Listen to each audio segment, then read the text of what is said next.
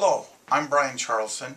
I'm Director of the Computer Training Services Program at the Carroll Center for the Blind in Newton, Massachusetts. During the next few sessions, we're going to teach you all about Apple iOS devices, from the iPad to the iPod Touch to the iPhone. I hope you enjoy these sessions. Today I'm going to show you a variety of applications I refer to as identification applications. On my Apple iPhone 4S, I'm going to first bring up an application called VizWiz, V-I-Z-W-I-Z. I'm going to flick to the right. LinkedIn, for Facebook, Twitter, PayTel, Messages, Reminders, VizWiz. Till I get to the VizWiz app, I'm going to double tap the center of the screen.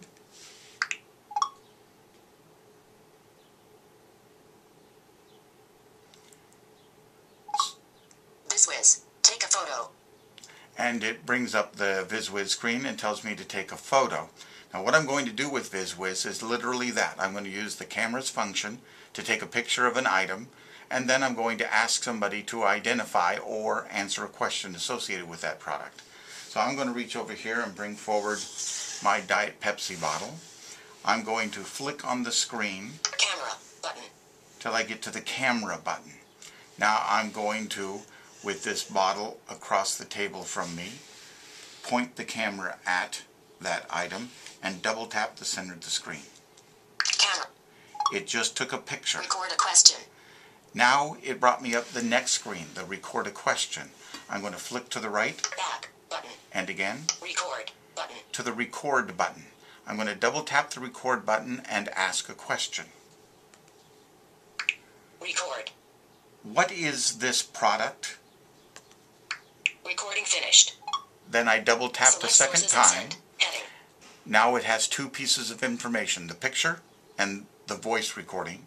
And now I'm going to ask it to send these two files to someone for them to deal with them. I'm going to flick to the right. Web workers. Switch button. On. I can either send it to web workers. This is a group of anonymous individuals, tens of thousands of them, who've agreed through Amazon to answer questions when asked. Or flick right. IQ engines. Switch button. Off. IQ engines. This is an automated process where the image is put against a catalog of objects uh, to determine through pattern recognition what it might be. Flicking to the right. Email. Select an email address. Email. Text field. I can send this to anybody whose email address I know. They'll receive the picture and the audio and could respond to me. Flicking to the right. Facebook. Switch button. Off. Facebook. I could send it to my Facebook account and ask my Facebook followers to answer the question. Twitter. Switch button. Off. Same thing with Twitter, Back. Button. or I can go back. I'm going to stick with what was already selected, which was web workers, continuing to flick to the right, Send. Button. to the send button, and double tap. Please wait while your question is sent. It's now sent those two files, in this case over wireless because I'm connected up to the Carroll Center's wireless network. It would be significantly slower Start over. Button. if I were to have sent it by way of 3G, because of course it's a photo and an audio file that's being sent.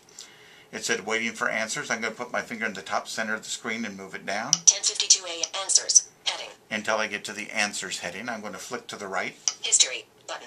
This is a history of previous answers. View answers. Heading. And we're at view answers heading. Back. Button. I can go back to the previous screen and try again. Email photo. Button. Email photo. In progress. and it says that it's currently in progress. Flicking to the right again. And I'm going to have to wait. The web workers are out there. They are anonymously assigned the responsibility to look at the picture and answer the question. Uh, there are different numbers of them available, different hours of the day. You have no real control over that process. It's my understanding from the purveyors of this product that many of the web workers are in India, though not by any means exclusively so. And the time of day here in the United States versus in India will impact how long it takes to get a response. I'm going to flick to the left. Email photo. And then e- flick to the right. In progress. Says it's still in progress. I've not received a response.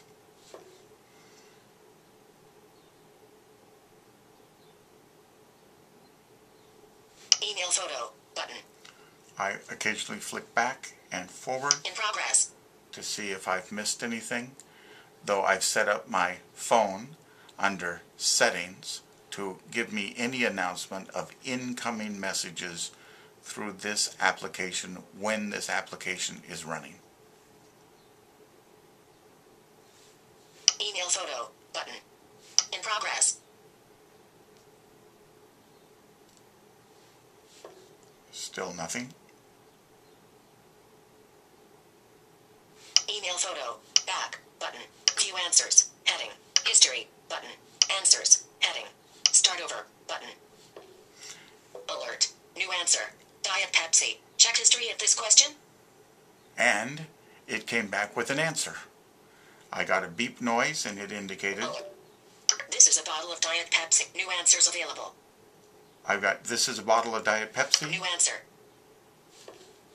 This is a bottle of Diet Pepsi. Okay. Button. And I have an OK button to acknowledge receipt of that information. Double tap to close that. Alert. New answer. Diet Pepsi. Check history of this question. I New got a available. second answer that says Diet Pepsi. Diet Pepsi. Okay. Button. Okay with that. New answer. Answers. Start over. Button. And I'm back to the Start Over button. This is VizWiz. While I used it here to identify a product, I could just as easily have taken a picture of my tie and asked it to describe the tie, or the color of a garment, or read the instructions on the back of a box of brownie mix. I've used this while in transit to determine which of the buttons on a vending machine is the one that I want. Take a picture of the vending machine, ask which is the Diet Pepsi button, wait for a moment, comes back and tells me it's the third button down. I've used this to read the material in hotel rooms that indicate whether, you know, when you put the sign on the door, you're saying, do not disturb me or please come in and clean the room. VizWiz, an amazing product, price tag on the App Store, zero dollars and zero cents. Stop that one. How's that? Okay. What do you think? Great. I think that's long enough to leave it as is. What do you think? I think so. And uh, that's cool. I never thought of using it at the vending machine. It's hugely valuable. yeah, I Hugely know. valuable in that. Wow. So, so I'll stop